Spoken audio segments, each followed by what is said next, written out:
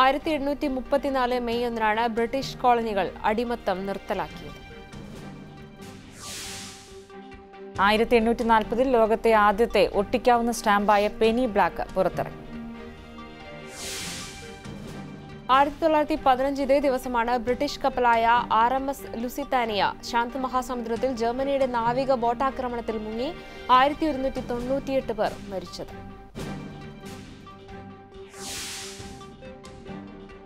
സൗരയൂഥത്തിലെ കുള്ളൻ ഗ്രഹത്തിന് പ്ലൂട്ടോ എന്ന് നാമകരണം ചെയ്തതും ഇതേ ദിനം ആയിരത്തി തൊള്ളായിരത്തി മുപ്പത്. ആയിരത്തി തൊള്ളായിരത്തി അറുപത്തി ഒന്ന് മെയ് ഒന്നിനാണ് ക്യൂബയെ സോഷ്യലിസ്റ്റ് രാജ്യമായി പ്രധാനമന്ത്രി ഫിഡൽ കാസ്ട്രോ പ്രഖ്യാപിച്ചത്.